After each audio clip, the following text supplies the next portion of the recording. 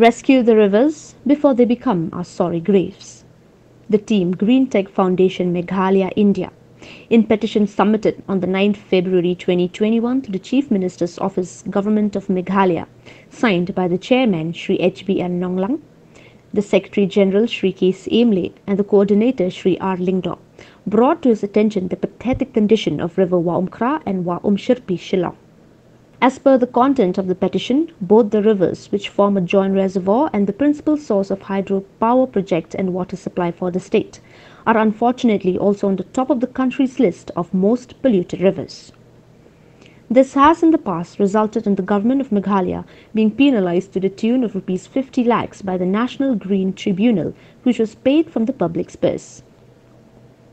While the chairman of the Meghalaya State Pollution Control Board, MSPCB, has stated since October 2019 that an action plan of the Meghalaya State Rejuvenation Committee had already received approval from the Central Pollution Control Board CPCB to clean Wah Umkhrah with the possibility of the fine imposed on the state being refunded to the state's coffers.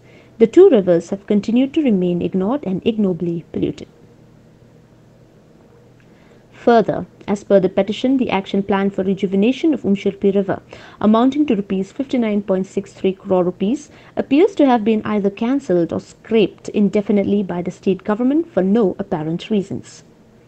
So far, the only tangible action taken in this regard is the special cleaning drive conducted by the Office of the Deputy Commissioner East Khasi Hills District before the Northeast Food Fest in December of last year, where rupees 16 lakhs were spent on the project. A very laudable project indeed, as the river that flows along the Polo area is now by and large restored and cleaned. In 2013, the Khasi Hills Autonomous District Council via the 13th Finance Commission has spent approximately rupees 50 lakhs upon the Clean Wah Umkhrah mission. Furthermore, another rupees 1.25 crore rupees was spent for cleaning Wah Umkhrah in the year 2016. But the public are yet to find out why the project amounting to rupees 27 lakh that was proposed for the same action during the ministerial term of MLA H. Dohling was dropped or canned. The petition then goes on to list numbers of similar projects that have disappeared into thin air, following glorious announcements made by the government at various times to restore, rejuvenate, and clean the rivers in the state. To mention two of such projects, when Dr. Ampareen Lyngdoh was the urban minister, she stated that approximately rupees 150 crore has been assured to be funded by the Asian Development Bank ABD, with another rupees 100 crore coming from the center via the JNNURM second for the establishment of six sewage treatment plants STPs within the city.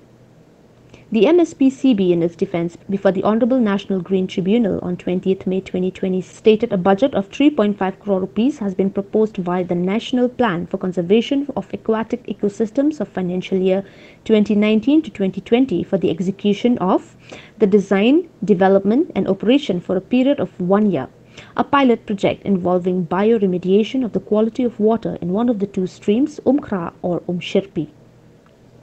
The Umiam River can generate power only up to the year 2024 due to the quantity of silt deposit which is 0.5 million cubic meter every year, which is the result of the flow of waste from Waumkra, Umshyrpi down to River Roro and finally to the Umiam River.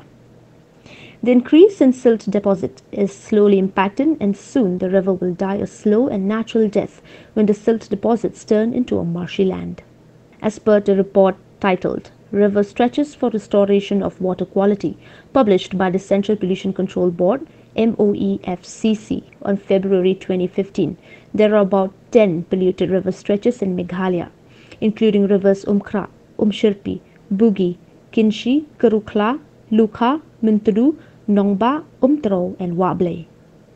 And the most polluted of these rivers, Wah Umkhrah and Umshyrpi, flowing right through our backyards, and no one, especially the government, is grateful enough to do anything about it. The dying rivers are indeed a clear indication of the sordid of affairs of the state and those in power. The petition ended with recommendations for immediate actions to be taken by the government to rescue these rivers from extinction and the entire state from a perpetual state of load shedding.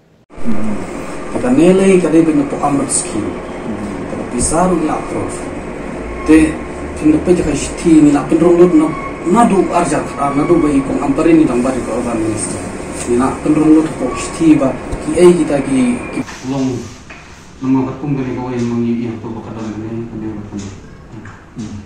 tocou no topo não com o amor de skin ele já não toca Rispunești, rezolvi ce problemă.